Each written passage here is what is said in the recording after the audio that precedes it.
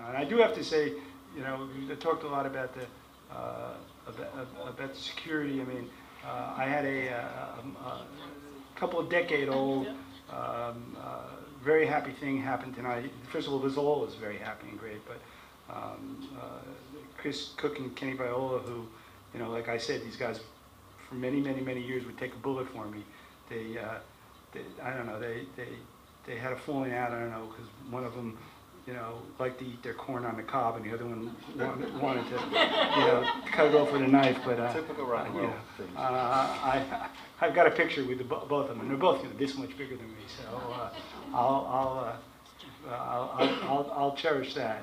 Um, as I do, I, you know, I try to go every year to the, uh, Capitol reunion that the crew does, and it's, you know, they're great old stories, and, and, and, uh, um, the fact that so many of the crew stayed friends, um, for all these years.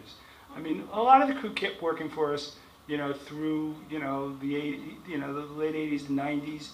Um, you know, but, you know, as the industry got more and more consolidated and became big corporations that did it, it was, you know, it was hard to maintain. I mean, we must have had a staff, you know, from the, you know, from the seventies and the eighties of, you know, a hundred people you know, uh, and, you know, and did, you know, a lot of shows. Um, But uh, the fact that lots of them have stayed friends and, and uh, uh, Kenny and Chris are gonna spoon now later tonight. Um, Is Hood here? Hood, where are you? Hood.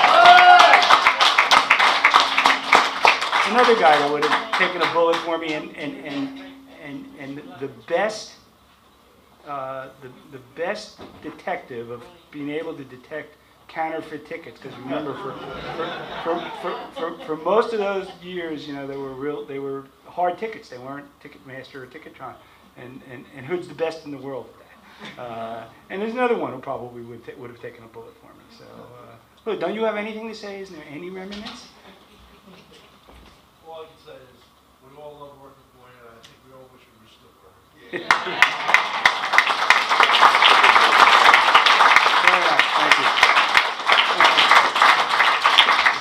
Glenn, you want to?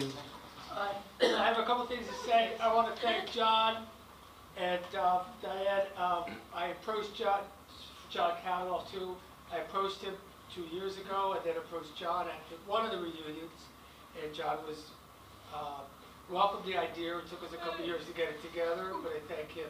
I thank Diana for helping us at the office and everybody.